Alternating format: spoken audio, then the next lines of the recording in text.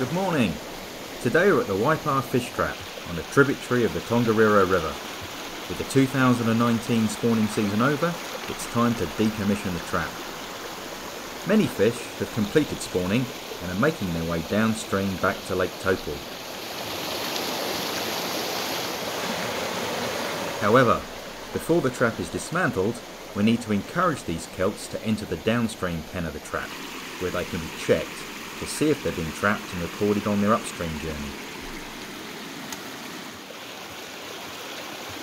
This information tells our fishery scientists what proportion of spawning trout bypass the upstream pen of the trap during winter floods.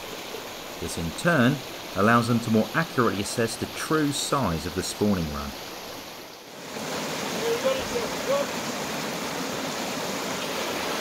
Once all the data has been collected, the trap can finally be dismantled.